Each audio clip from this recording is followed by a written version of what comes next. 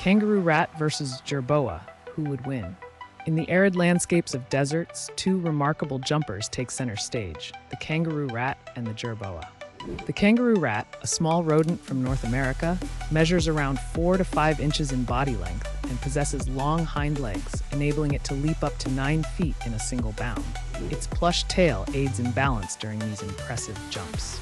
On the other hand, the jerboa, native to Asia and northern Africa, is slightly larger, reaching up to 6 inches in body length. Its long legs allow it to achieve leaps of over 10 feet, making it a formidable contender. Both creatures are nocturnal and are adapted to conserve water, with kangaroo rats being able to survive without drinking water, deriving all their moisture from seeds.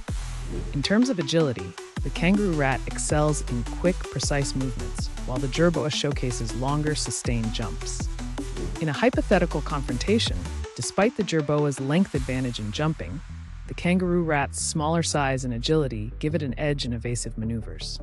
Therefore, while both are exceptional desert dwellers, the kangaroo rat would likely outmaneuver the jerboa in a duel.